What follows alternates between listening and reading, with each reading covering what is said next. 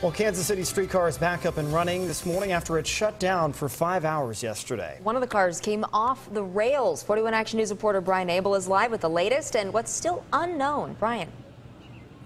Yeah, Lindsay, good morning. Right about 4 o'clock is when the train went off the, or the streetcar rather, went off the tracks right here at Union Station. And this is the point where uh, the streetcar switches. It turns around and heads back to River Market, but that process of switching, it didn't happen quite right. Something went wrong on the part of the track that makes the switch to the other side happen.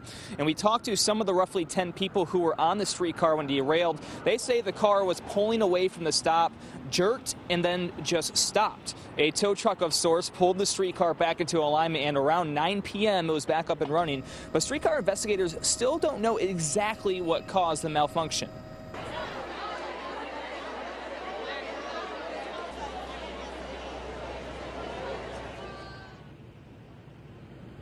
Now, for months before the launch, streetcar crews trained for scenarios, including this one. That training it, prov it proved necessary as a streetcar in the history of it for the very first time had to be towed back onto the tracks. Uh, the city buses here, they end up picking up the slack for the streetcar going up and down the route and end up picking up uh, passengers for free. So they did have that. We will continue to keep you updated when that malfunction, what is the official cause of that as soon as we know it. We'll both be reporting on air as well as online. For now, reporting live at Union Station, Brian Abel, 41 Action News Today.